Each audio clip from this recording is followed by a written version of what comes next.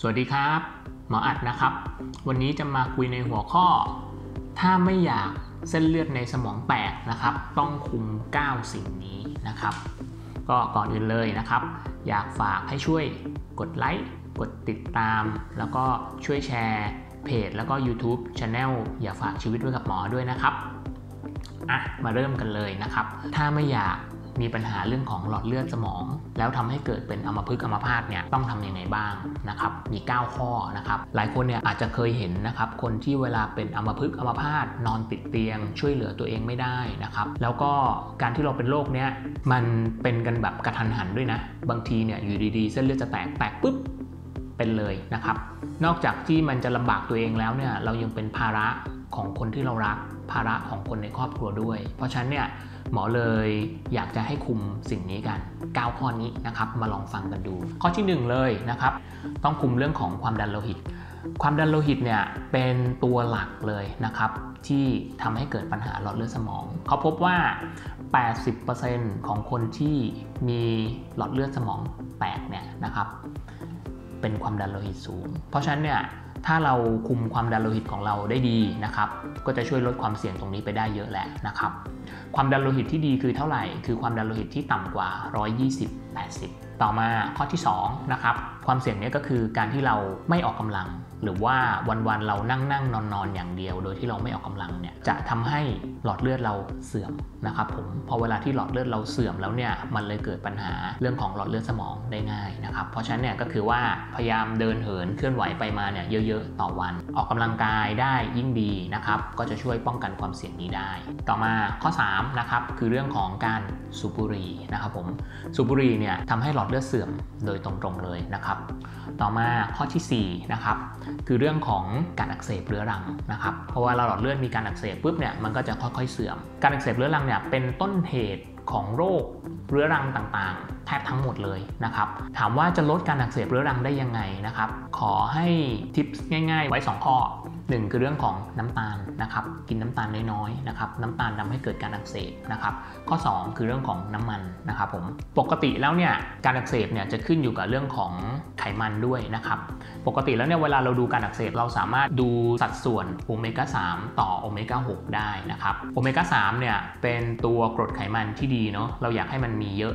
ส่วนโอเมก้า6เนี่ย เป็นกรดไขมันที่ไม่ดีที่ทำให้เกิดการอักเสบสัดส่วนของ 2 สิ่งนี้เราอยากให้อยู่ประมาณตัวดีโอเมก้า3เนี่ยหส่วน ส่วนตัวไม่ดีเนี่ยโอเมก้า6เนี่ยสาถึงสส่วน อยากให้อยู่ในสัดส่วนประมาณนี้ แต่ว่าทุกวันนี้เวลาที่เราทานอาหารกันเนี่ยเวลาตรวจมานะสัดส่วนมันจะเป็น 1 ต่อ 10 1 ต่อ 20 ประมาณนี้เลย ซึ่งพอเวลามันเป็นประมาณนี้มันเลยทำให้เกิดการอักเสบได้สูง ทีนี้ขอแนะนำไว้ในเรื่องของการใช้น้ำมันละกันนะครับผมแนะนำให้ทานน้ำมันมะกอก สดๆนะครับ เวลาเลือกซื้อน้ำมันมะกอกให้เลือกซื้อ extra virgin มาทานสดนะครับ เวลาทานสดเนี่ยจะเลือกทานกับสลัดก็ได้ หรือว่าจะใส่ช้อนแล้วทานสดๆเลยก็ได้นะครับแนะนำให้ทานทุกวันนะ วันหนึ่งอาจจะทานประมาณสัก 1 ช้อนโต๊ะก็ได้นะครับ ต่อวัน ต่อมาข้อที่2นะครับคือเรื่องของน้ำมันในการเอามาผัด แนะนำให้ใช้น้ำมันรำข้าวนะครับน้ำมันรำข้าวกับน้ำมันมะกอกเนี่ยโครงสร้างอาจจะใกล้เคียงกันนะครับมีสัดส่วนของโอเมก้า 9 บ้างอะไรบ้างเนี่ยใกล้เคียงกัน แต่ว่าน้ำมันรำข้าวเนี่ยทนความร้อนได้สูงกว่าน้ำมันมะกอก เพราะฉะนั้นเนี่ยถ้าเกิดเราจะเอามาผัดอาหารอะไรต่างๆเนี่ยก็ใช้น้ำมันรำข้าวนะครับต่อมาถ้าเกิดจะทอด ทอดแบบความร้อนสูงๆเลยนะครับทอดแบบไก่ทอดที่เหมือนแบบใช้น้ำมันเยอะๆเลยแนะนำให้ใช้น้ำมันมะพร้าวนะครับเพราะว่าน้ำมันมะพร้าวเนี่ยทนความร้อนได้สูงนะครับแล้วก็น้ำมันมะพร้าวเนี่ยไม่ได้มี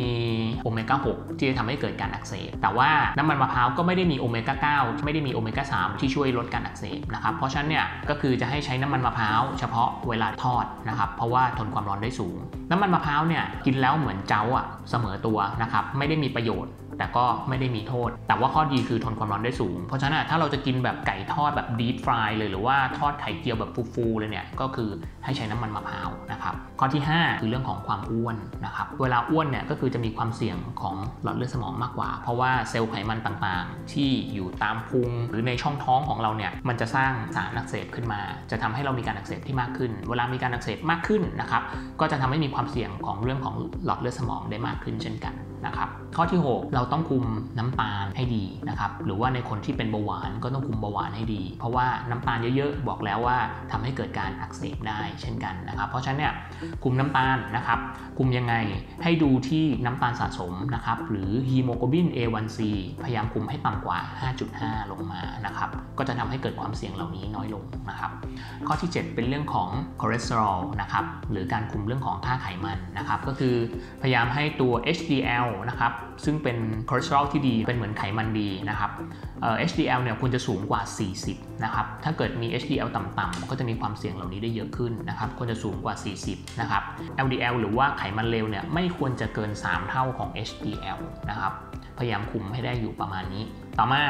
ข้อที่8นะครับคือเรื่องของยูริกหรือว่ากรดยูริกเนี่ยที่หลายคนคิดว่าทำให้เป็นเกาพวกนี้นะครับคุมกรดยูริกเนี่ยก็คุมให้ต่ำกว่า6นะครับทั้งผู้ชายและผู้หญิงนะครับต่อมาข้อสุดท้ายข้อที่ 9 คือค่าโฮโมซิสเตอีนนะครับเป็นค่าที่บ่งบอกการอักเสบของหลอดเลือดโดยตรงนะครับโดยยูริกกับโฮโมซิสเตอีนเนี่ยมีโครงสร้างเหมือนกันเลยมันมันจะเหมือนมีลักษณะเป็นผลึกเข็ม ถ้าเราปล่อยให้มันสูงอยู่ในเลือดนานเนี่ย ผลึกเข็มแล้วเนี่ยมันก็จะครูดผนังหลอดเลือดเรานะครับทำให้ผนังหลอดเลือดเราอักเสบนะครับแล้วก็เกิดปัญหาหลอดเลือดสมองได้ง่ายนะครับโฮโมซิสเตอีนเนี่ยก็เป็นอีกตัวหนึ่งที่ควรตรวจนะครับบ่งบอกเรื่องของการ